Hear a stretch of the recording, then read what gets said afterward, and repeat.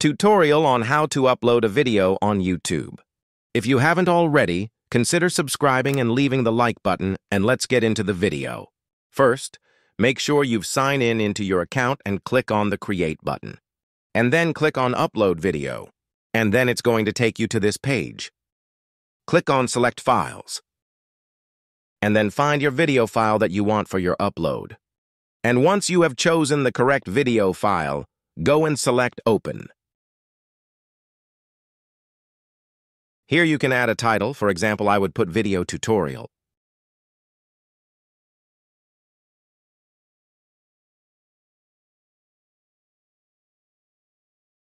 You could also add a description, but I would like to skip it. And you can also add a custom thumbnail. Here you need to verify your phone number.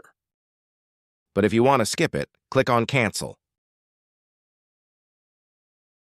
And you can also add a playlist. But if you don't have one, you can create a new playlist. And you can just simply create one, but you can skip that if you want to.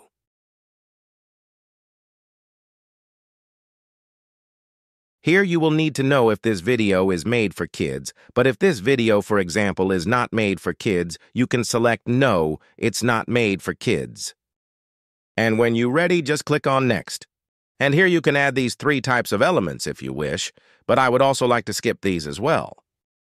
Here in Visibility tab, I recommend set it to public because anyone can see your video.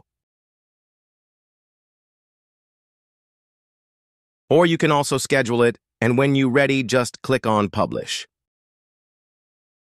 And that's it, the video is now published. You can share with your friends and people will be able to find your video. If you haven't already, consider subscribing and leaving the like button, and thanks for watching.